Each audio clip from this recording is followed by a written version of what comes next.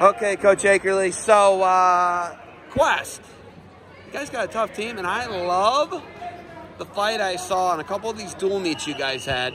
I watched some barn. You had like three barn burners in a row. Yeah. The Tennessee one was crazy. Yeah. You had to come from behind and win that one. You had to come from behind and win the uh, the one before that, which was the uh, West Shore, Yeah. right? Yeah. yeah. I mean, your kids battled today, man. I, I think this is a nice tournament. You know, for the most part, these are all clubs. You know, it's not like you go, a lot of times you go to these dual tournaments and wrestle all-star teams. You know, and and uh, but there's some quality clubs here. You know, Palmer's got a nice club, and uh, you know West Shore has always had a nice club, and uh, you know.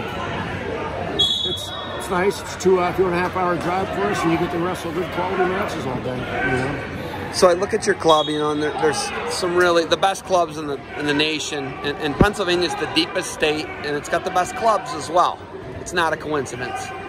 Why is Pennsylvania so dominant at folk style wrestling? You got the most Division One qualifiers every year. You got the most D2 qualifiers. Why is Pennsylvania? What is about your culture and how you guys wrestle? Why is that? You just hit the nail on the head there. It's a you know, it's a part of the culture. You know, families. There's generations of wrestling families that, uh, you know, dad wrestled, grandpa wrestled, you know, Uncle Tim wrestled, whatever. And, and uh, I also think there's there's pockets where it's it's uh, popular for kids to wrestle.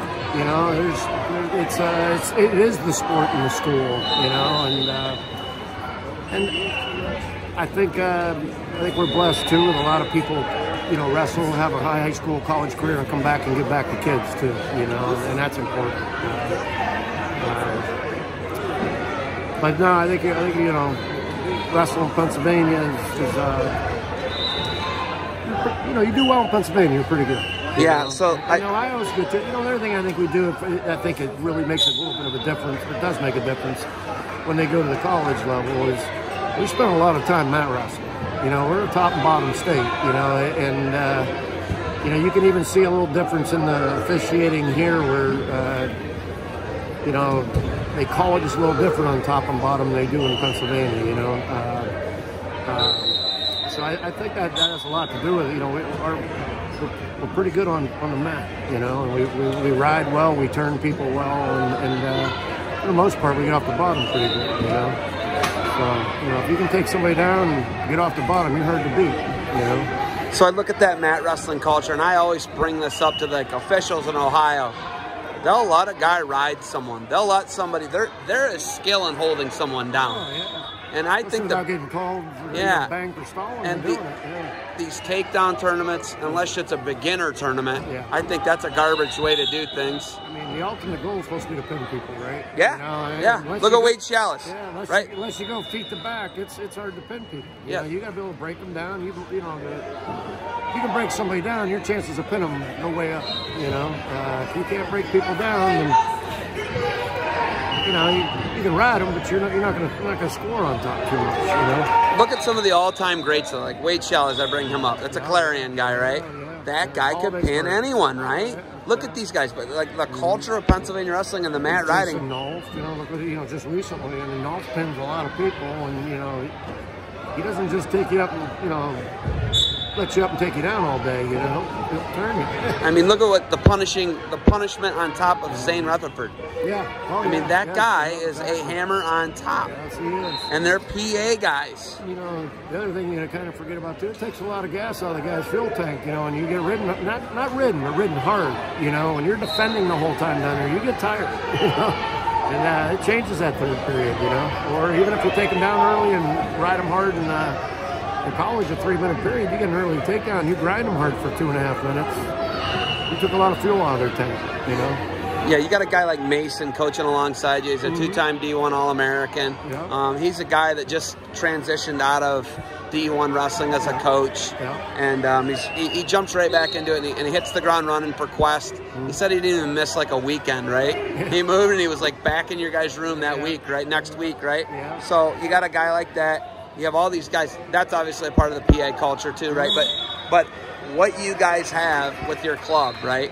What do, you got elite level guys. Let's talk about the mid level guys. I asked some of these other guys, these coaches from Indiana, what do you want the mid level guy to get out of the sport of wrestling? I, I want them to learn the, the lessons you learn from the sport. You know how to how to deal with adversity. You know how to work for something, set goals, and try to achieve them. Uh, you know, we end our practice every day with three things. You know, hold up our fingers. One is, you know, most important thing I'd like these guys to understand is the importance of just being a good person. You know, being a good person. Number two is a good student, and, and being a good athlete's third. You know, in, in that order. And and uh, you can see kids buy into it. You know, and, and uh, know, not not every not everybody's going to be perfect, and people make mistakes, but you know, learn from your mistakes, which is another lesson you should be learning from the sport as well. You know, you make a mistake, it's okay. Let's just try not to do it again. You know, learn and correct mistakes. Um, you know, I, I think you know, you know, we talk about clubs too. You know. Mason's a good example of it. He grew up in our club since he was a little kid. You know, he gets done wrestling at Lehigh, and and even before he graduated, he's asking if he can come back and coach. You know, because I think he took, you know, had a lot of, you know, had a lot of value to him being a member of the club, and uh, and he's excellent with the kids. He's good. He's a great technician, and uh, uh, you know, he does a great job with them, and uh, he's, he's a he's an asset to our program. I'm gonna kick my soda over. Um, we'll get you another one, coach. We'll yeah, get you another one. Okay. So so um last thing, what do you want? The mid level, the all level. You want everybody to get like they want to be good people, right? But the last thing when, when you come to something like this, mm-hmm. right? They get to come two and a half hours, stay in a hotel, yeah. hang out a little bit. What do you want the kids to get out of wrestling experience? What, what, what memories do you hold fond about the sport of wrestling? Well, that, that's a lot of great tears memories. You know what I mean? Uh, I can still remember being 10 years old, going to the kids state tournament and all the fun I had being in the hotel with all these. You know, it was a it was a fun experience. Uh, I'd like them to have some lifelong friendships, you know, which which I've gotten out of the sport, um, and um, you know, just like I said before, learn learning how to learning how to work hard for something and, and not expect somebody to give it to you. You got to, you know, that's one thing about this sport is it's, it's you against another kid, another man, and you know, you're responsible for what happens out there. And, you know, you're playing football and somebody misses a block, you can blame somebody, you know. This sport, you know, you, you get out of it what you put in it, and uh, you know, you, you you make mistakes. You made mistakes, not somebody else. You can't push the blame on somebody else. And when you win, you win. You know, and you accomplish something. Um, I think that's I think that's something that maybe we're missing a little bit in our society today too. You know, uh, people think they're use a use the word entitled. You know, it's kind of getting overused a little bit, but I think there is a lot of people with an entitlement mentality, and you know, you're not entitled to win here. You got to earn it, you know, in this sport. You, you gotta, you gotta work for it, you know.